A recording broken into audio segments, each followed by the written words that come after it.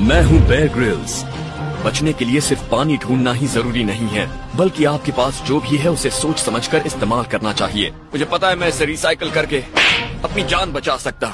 man versus wild